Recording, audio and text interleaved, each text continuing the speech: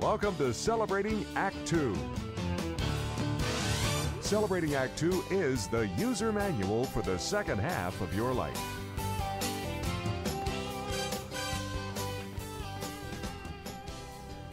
Hey, Art, it's good to see you again. Um, virtually speaking, of course. Good, good to see you, John. And here's a, a A hug.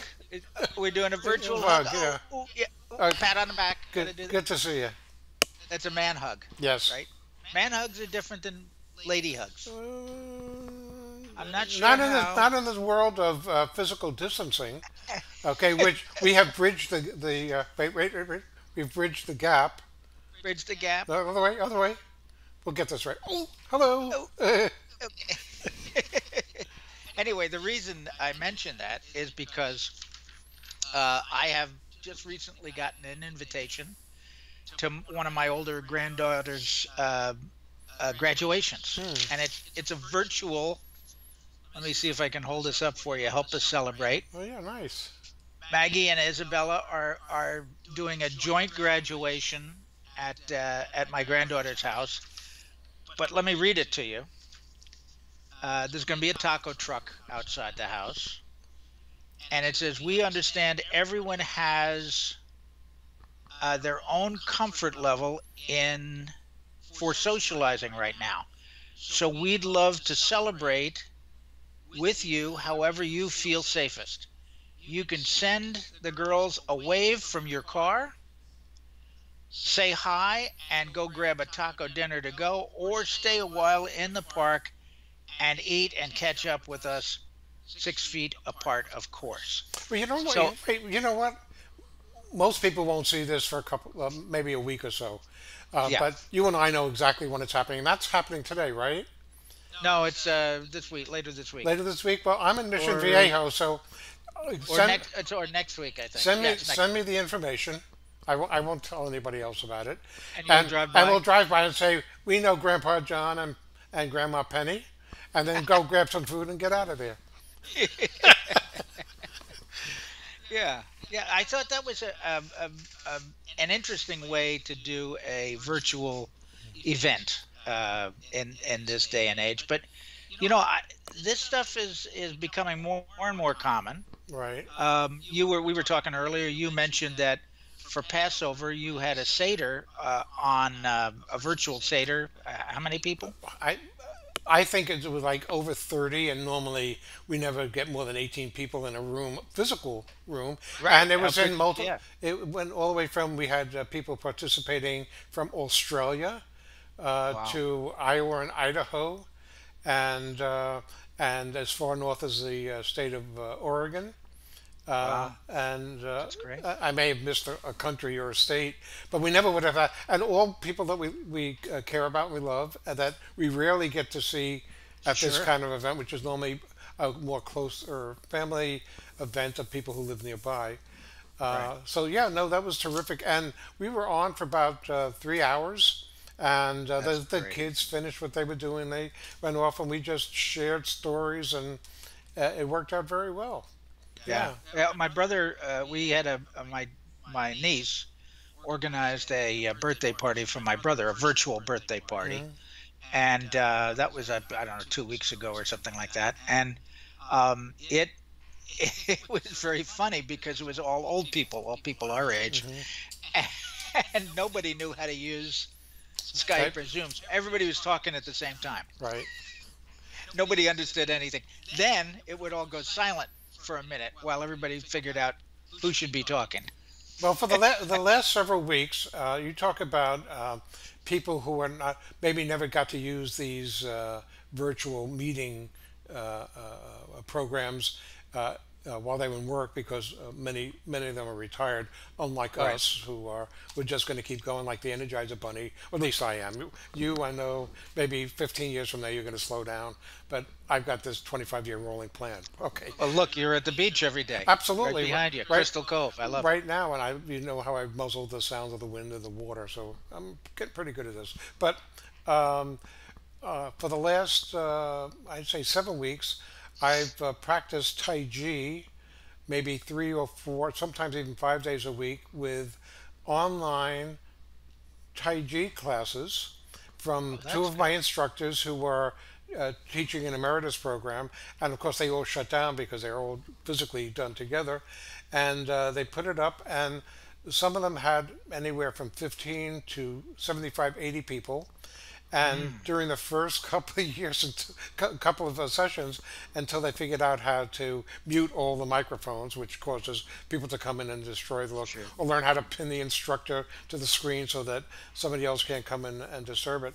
But within two or three weeks, okay, there's none of that. Just people have adapted and uh, in fact, we have a week off right now, and then we start up again. I'm, I've enrolled for seven classes. I'll probably only stay with four of them, but I like to get in like one or one a day. It would be nice, and I never used to practice more than three times a week. So um, the world has changed uh, It quite a is, bit. and it's you know uh, it's not going to change uh, this practice of virtual events. I don't think is going to go away because it is so convenient.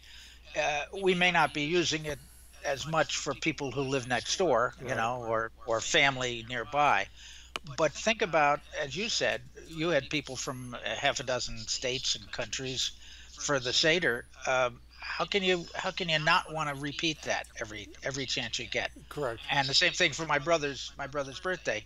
Um, there were pe- he's in Oregon, we're in California.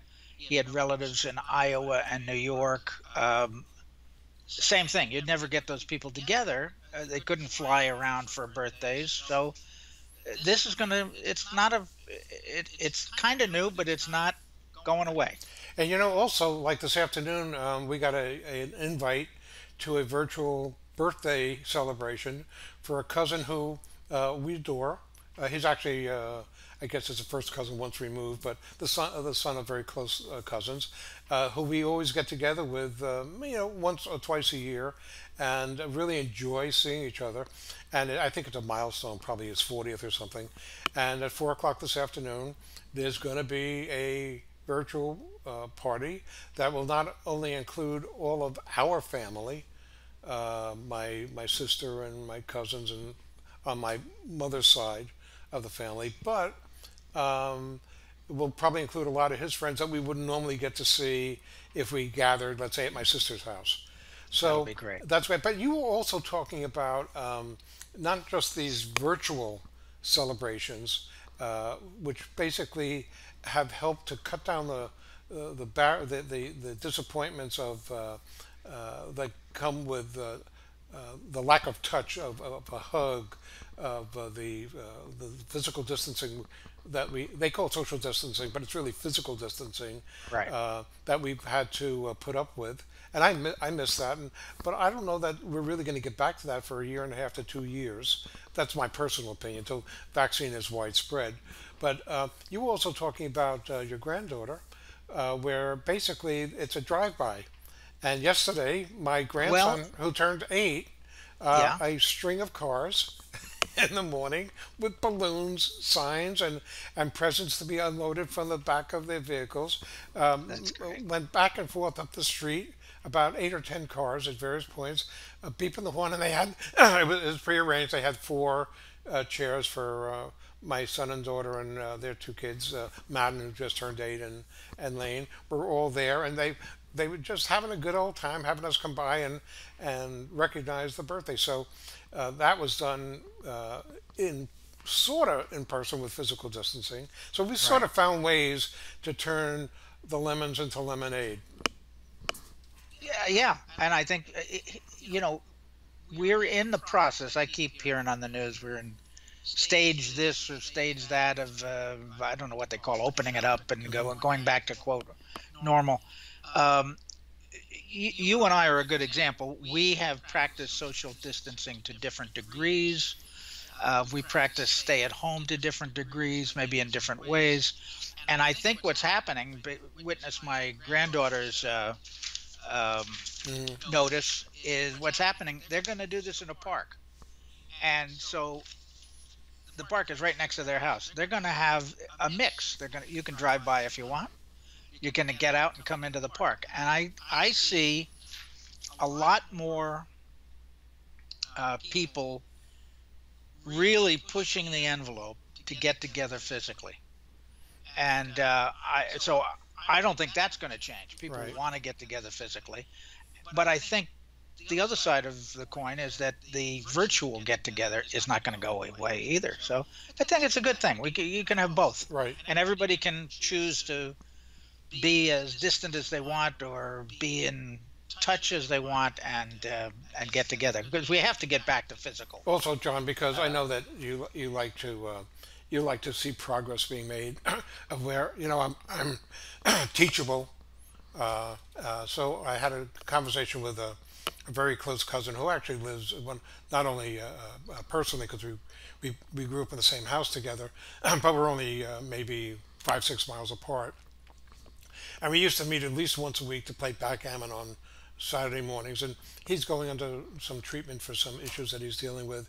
And he really can't be exposed to, to germs. And of course, the coffee shops that we used to meet at are haven't been available to have people meet there anyway. Right. But they have a, uh, a, a, a patio uh, behind the house, and they have a side gate and they have begun to have some of their grandchildren and children visit from time to time. They have to be distanced. Everybody wears a mask, and they're at opposite ends of the patio. And we'll probably wind up going over there in um, uh, the next week or so uh, for a nice visit. We haven't seen them in a while. I speak to him all the time, but uh, even being in a close proximity is going to be nice, and I miss that. And in fact, Yeah. I, in fact, I'm thinking of um, maybe in the next couple of weeks, uh, uh, and a lot of my Tai Chi people that I practice with on Sunday uh, go to the beach at uh, seven in the morning, and they're done by eight, eight fifteen. And we generally go out for coffee afterwards, and we won't do that. But I may go out there because they're you know ten feet apart and twelve feet apart, and we always have been fairly far apart, and we just won't hug. And so I'm thinking about uh, doing that as well, but but with a mask. With a mask. Yeah, to, to protect to protect other people. And I know that's the reason are- you would wear one, John. Is You are to such a protect other- generous guy. But I, but then I, I require. Uh, I would be very disappointed if you didn't wear a mask if we got together, because then, you know, I would not feel very well taken care of. And I know that you like to take care of people as well. I do. I don't want you to get anything nasty and Especially- no bugs, no virus. Especially since I'm the only one who knows how to actually work the recording. that would make a difference. Right. It would. Well, anyway, listen- John, I think we've exhausted this, haven't we? Oh, I don't know, Art. I'm still pretty excited to continue talking about it. Oh, yeah, let's go. What else can we say? Art, So, uh, me saying goodbye. great to see you again, John. Always. Um, And let's see if we can before figure. we- hold it, hug, hug, hug, hug. And wait, get the right hand. Your your left hand. No, your no, your right. Your right hand. there you go. Good. Okay. We'll get this. So, before we go, I just want to say to everybody who's watching, is please be responsible, uh, wear a mask, stay socially distant, um, and let us know how you're doing. If you're um, maybe getting together more and uh, taking off the masks more, things like that, we'd like to we'd like to keep up with you. And by the way, let if you know. haven't been to our YouTube channel, Celebrating Act Two, that's Celebrating Act with the number two. Go there. If you haven't subscribed, please subscribe. But there, in the last month, maybe uh, uh, 15 or 20 new segments, and we've got some great regular contributors and some really great one-off things. We did one on Ross Costa. We did one with uh, uh, for anybody who knows the name uh, locally with Rick Sherman, who's a, a, a professional friend of ours. these are all big names that everybody will recognize. Right. Uh, well, no, not as big as John Coleman. of the of the Coleman clan. Wait a minute, didn't I already say goodbye? No, but you said hello. I have to say goodbye. Goodbye, John. Okay. For more on Celebrating Act Two, visit our webpage, follow us on Facebook, subscribe to us on YouTube, and tell your friends. Celebrating Act Two is the user manual for the second half of your life.